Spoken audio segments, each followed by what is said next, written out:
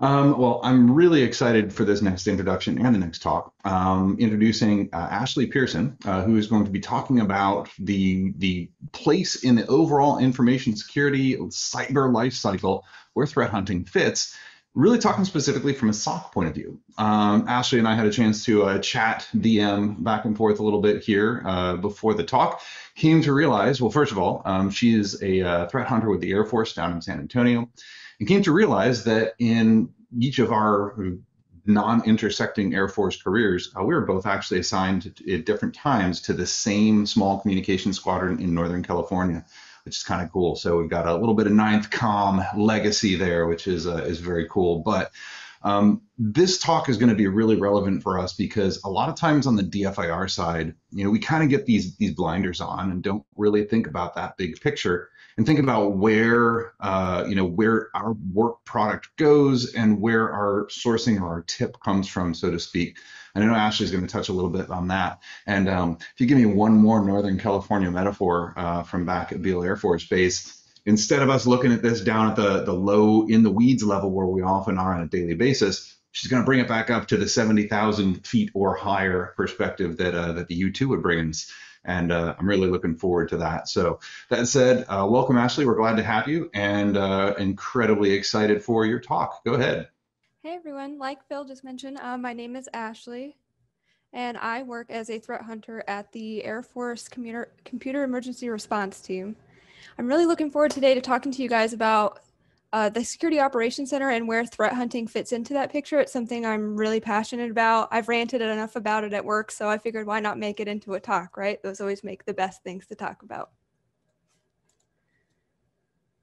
Just to get into it first and a little bit about me so you guys know who I am and where I'm coming from. Like Phil mentioned, I did work at Ninth Com at Beale Air Force Base, kind of in the middle of nowhere, Northern California as a server admin. Um, I started my Air Force career eight years ago, and for the first half of it, I was kind of a jack of all trades server admin. I did a little bit of everything. I did ticket jockey work at the help desk. I did server administration, a little bit of vulnerability management and firewall management along the way. And then about halfway through my career, I decided to switch things up a little bit and swap over to what is known in the Air Force as cyber warfare operations uh, which is mostly cybersecurity, uh, kind of in a general sense to translate it for you guys. I've worked in a SOC for the last three years. For the last year specifically, I've been a dedicated threat hunter. So I've kind of done a little bit of everything in the Security Operations Center before moving to dedicated threat hunting full time. Um, I do have my Twitter handle up there if you guys want to follow me. I do have a very new blog. It's only got a couple of posts, but I'm hoping it's something to keep up while I keep delving into the cybersecurity realm. I've been super excited because there's so much to learn in cybersecurity. So I've been kind of Pokemon collecting certs there down at the bottom, going to school, taking classes, reading a bunch of white papers, taking as much training as possible because I'm just really excited to learn about all of the things that DFIR in general has to offer. So just to go over kind of what I want to talk about today, since I am taking it back up to that 10,000 foot view, uh, the overall question is how do you integrate threat hunting, which is a relatively new function within a security operations center with some of the more traditional or pre-established processes or roles, right? So I'm going to start by just going over some of those functions and roles so we're kind of all on the same page since I kind of have to translate from, you know, the military jargon to the more commercial sector stuff. Then I'll kind of go over the culture shift that needs to happen to really make sure that your threat hunting function is going to be successful and that your operations as a whole is going to be successful. I'll go into what threat hunting is, maybe what some threat hunters might look like in your organization so you can identify them a little bit better, how to mature those operations. Um, and then ultimately, I'm going to go over where threat hunting fits into that picture and how you can use that to leverage the abilities that threat hunting can provide to illuminate some security blind spots that you might have in your organization.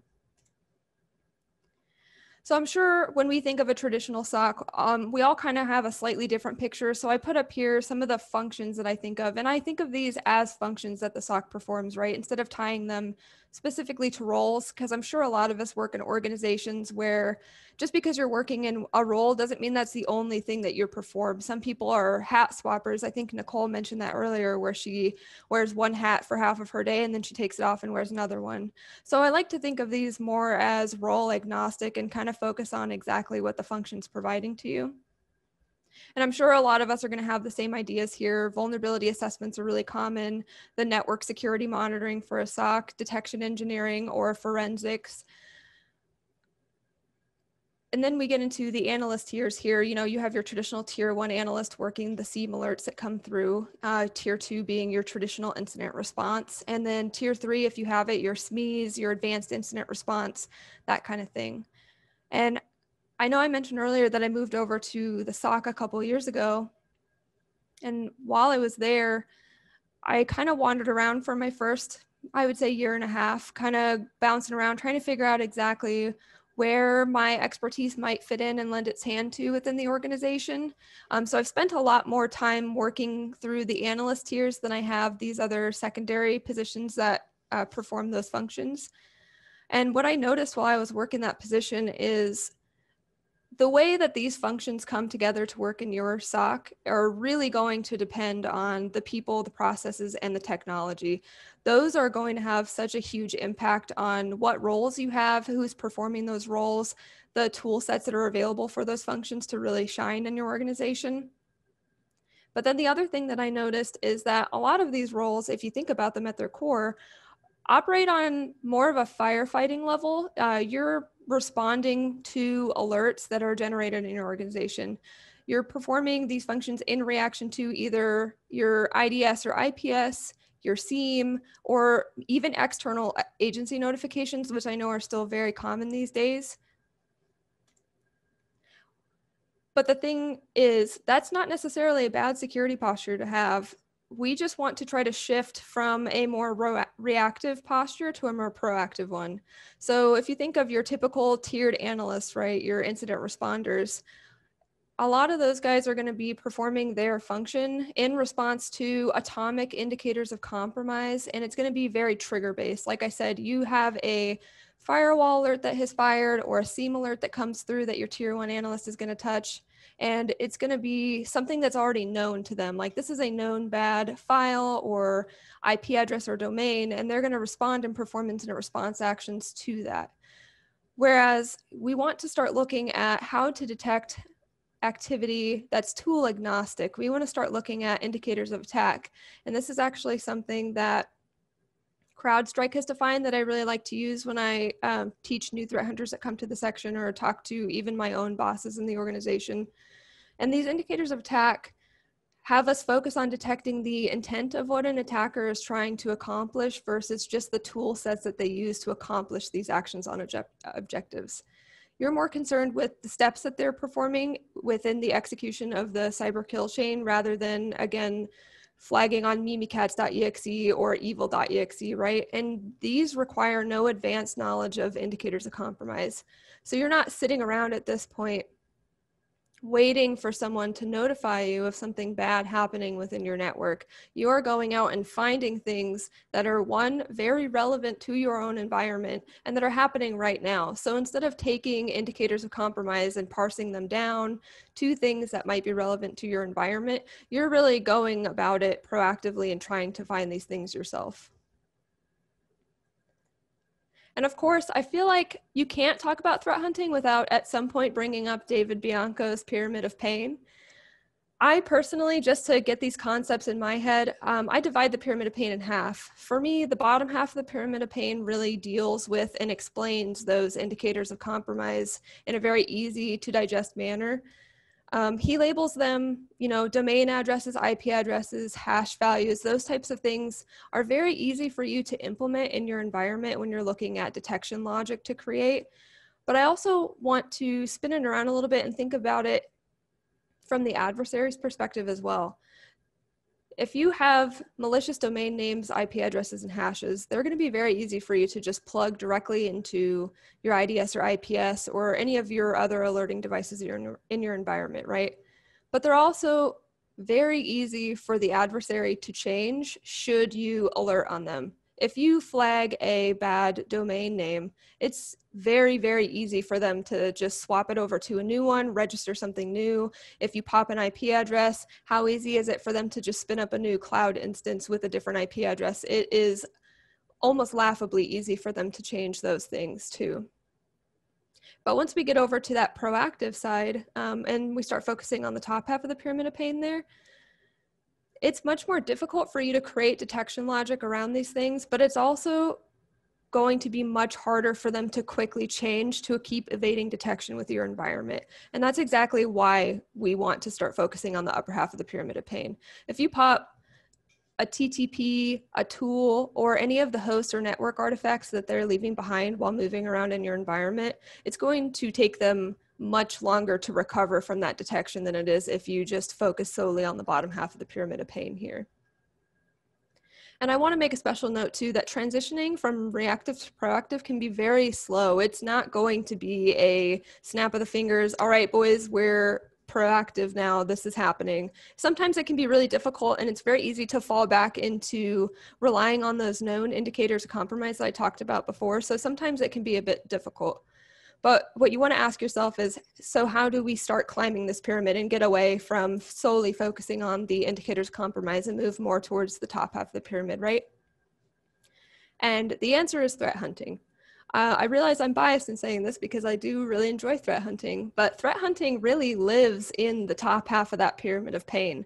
They are, as a function, providing internal notification of malicious behavior. They're not just saying, hey, I found mimikatz.exe. That's already going to be detected by the IDS or IPS or AV that you have in your environment. They're going out there and finding these things based on the behaviors without, again, without that notification of the malicious behavior happening in your environment. And that's very, very valuable to you. And I know the typical definition of threat hunting that you're going to hear, um, a lot of people have touched on it today as well. Uh, threat hunting is really uh, an iterative approach and it's hypothesis driven. So you're saying this malicious behavior is happening in this manner and this is how I'm going to find it and I'm going to prove or disprove that. And that's kind of a widely accepted definition, but there are still a lot of misconceptions. The biggest one being that threat hunting is synonymous with what functions a tier three incident responder can provide to you. That's not necessarily incorrect. Again, it's going to depend on the people, processes that you have in your environment that are going to shape this, but they really do provide two different sides of the story to you. Your tier three incident responder is going to be just as smart, just as knowledgeable, but they're still focused on that reactive, like waiting for a trigger to happen before operating. Whereas whoever's fulfilling this threat hunting function is going to again, go find their own alerts to work. The, sex, the success is just going to be dependent on the culture and personalities that you have fulfilling this function in the long run. So you really want to make sure that you have the right people fulfilling this function in your organization. And with that comes some expectation management. And this isn't just management's expectation of the people fulfilling the threat hunting function. This really is also the threat hunter's having realistic expectations for themselves, right? You're not always going to find bad when you perform a threat hunt, and that's okay. And this is very different from some of those traditional SOC functions that we talked about because if you work traditional incident response, you have an alert, you work that from cradle to grave, and then you have expected outcomes and things that are going to come from that. Whereas sometimes these threat hunts just aren't going to be producing things to work from. And that's definitely a hard pill to swallow and that's probably the hardest part of that culture shift that i talked about which is why it can sometimes take a little bit longer to implement in the long run. So if everyone could just keep in mind while they're performing this or managing their threat hunters this quote from captain picard it is possible to commit no mistakes and still lose. That is not weakness that is life and this you really need to take this to heart when you're threat hunting. You can plan for weeks or months sometimes the perfect hunt. You can analyze all the data sources that you're going to need or what you're going to look for and sometimes you're just not going to find it. And that's okay and it shouldn't discourage you in the long run and managers as well. It shouldn't discourage you from supporting your threat hunting function because they're not meeting a 100% success rate in the long run. Now if you're meeting if you're never finding anything, that's when you need to go back to the drawing board and make sure that you take the time to learn from some of these mistakes. And that's how we get into how to perform threat hunting. Now, if you look at some of the talks earlier, if you're able to attend them, regardless of organization, MITRE, Target, even Nicole touched on it when she was going through her brief earlier, these are going to vary from organization to organization. Some people have a very, very detailed methodology in the way that they perform threat hunting. But the commonality between all of those things is really four general steps. And this is the Sqrrl model as well, which is why I like it because it leaves a lot of room for interpretation. But generally speaking, when you're threat hunting, you're going to start with a hypothesis. Again, you're going to say, hey, I think this activity is happening in this manner, and here's how I'm going to find it. You're going to perform your investigation and either prove or disprove that hypothesis. And then that's eventually going to lead to the discovery of new tactics or uh, activity within your environment. And then it's going to enrich analytics within your environment. And there's a kind of a hidden step here that's inferred from the inform and enrich analytics step, but it's that feedback part of this loop that's really important to focus on. And I really want to focus on that one for just a minute. The hypothesis generation, the technique discovery, and the patterns and TTPs that you're going to find are very important. But you're never going to mature your threat hunting operations unless you really take the time to learn from some of the mistakes that you might have made. You need to sit down and ask yourself sometimes some really difficult questions. Did we find this? If yes, can we create detection logic from it? Can we work with the detection engineers here and maybe detect this in the future so we don't have to perform a manual hunt? Did we not find anything? And is that a limitation on skill set or knowledge base? And what can we do to remedy that? Or is this a tool set or a data set limitation? And those are going to be harder to remediate in the long run, but they're still very important questions to ask because your threat hunts are really not going to improve unless you sit down and take recovery time after to ask yourself these questions. And as far as the signatures go, for creating detection logic, sometimes you're going to be able to create detection logic even though you're performing your threat hunts based off of behavioral detection. You're still going to be able to parse out a lot of those indicators of compromise because those are still valuable. You're still going to be able to find the domains and hashes that you can blacklist or whitelist or in your environment. But a lot of this is going to be organization specific and it's still important to recognize like hey can we implement this or is this going to have to be manually repeated every you know couple weeks or couple months? Again that's going to depend on the people fulfilling this function. But this is a really really important step that doesn't get highlighted enough and it's really crucial to improving yourselves in the long run. And that improvement shouldn't just die within the threat hunting section, your threat hunts really need to start tying into some of the other functions within the organization, right? You can see here in this graphic, you perform a threat hunt, and that's going to have incoming intelligence or uh, other sources of information. You're going to generate the hypothesis. You're going to perform the hunt. You're going to perform the investigation. And from that, you're going to get new IOCs, new TTPs, new indicators of attack that can immediately be passed over to your detection engineering function to create and validate new signatures. And then those signatures are immediately going to feed directly into the alerts and incidents that your incident response chain is going to be working. And that's going to lead to more resolved incidents. It's going to improve your detection time in the long run all of those things feed directly into some of the other positions within the security operations center. And even if you're not finding the exact IOCs or indicators of attack that you're working on, you're still going to be able to find sometimes some potentially malicious samples of executables or binaries within your environment. Now, if your threat hunters can perform basic analysis, that's fine. And some organizations don't have a dedicated forensics area. But if those malware samples are analyzed or reversed in any way, that's going to generate more indicators of compromise. And that whole section of this chart right here is really organization specific immediately. It's not hey, we found this intelligence and this might pertain to our environment, but we're not sure. So we're going to have to do some research. No, this was found in your environment operating. So you know that this is very relevant to your environment and you can cut down on some time between identifying these samples and extracting new IOCs to then feed right back into the incident response chain in the long run. The nice thing about threat hunting is it's not disrupting any of the existing functions within the security operations center. It kind of fits directly before some of them because it's a more proactive approach. So it complements a lot of the things that are already there, which is wonderful. It makes it far easier to implement. Each time you run through the threat hunting maturity or the feedback or feed those threat hunt results into the other areas of your security operations center, you're going to start shrinking the gaps in your detection capabilities.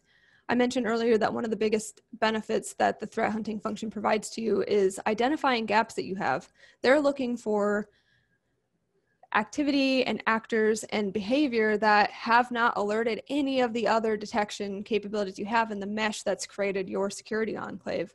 So some of those at the beginning you might find are very big gaps and very scary gaps, but over time if you start taking the things that your threat hunters are telling you to heart and fixing and taking the time to look at that feedback loop and take a look at your environment and say, can we find this? If we can, that's great, but how do we fix it? How do we learn from this? How do we grow as an organization?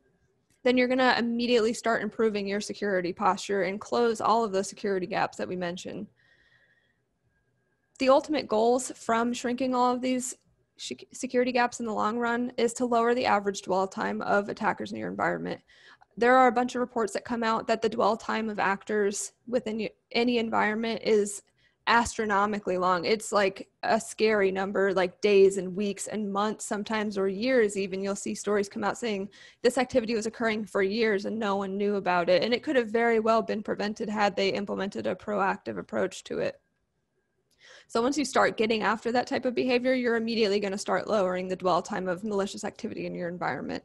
You're also going to start imposing cost on any of the adversaries. If you start looking at again, the top half of that pyramid of pain from David Bianco, you immediately start tagging and flagging on some of their harder to change indicators of attack, which is going to take them much longer to recover from than if you purely rely on the vendor signatures that are string matching on some of those easier things from the bottom half of the pyramid of pain. And you don't want to make this easy for them. Don't make it easy for adversaries to hide in your network. You want to impose as much cost as possible in the long run on them. Make them change their tools, make them change the way they behave, make them so worried that they're going to leave something behind in your environment that you're going to catch that they're not going to be able to hide any longer. That's really the biggest goal from threat hunting is they shouldn't feel safe. You should be operating under the assumed breach mindset where something bad is happening in, in my environment and I just haven't found it yet. And you want them to also be thinking, they know that I'm here, so I have to be very careful what I'm doing and take longer to complete my actions on objective. And you really want to make sure that they're the ones who are worried and that you're not worried that you just haven't found them yet. So, in conclusion, the right people and the right processes can easily make this happen in your organization. Once you get management buy off and start seeing the value that a proactive mindset can really provide to your organization in the long run, you'll start immediately closing those gaps. And even some of the more difficult things, if it takes a bit longer, that's okay because you're still improving your security posture in the long run. And with that, I leave you with a meme and I ask if anyone has any questions.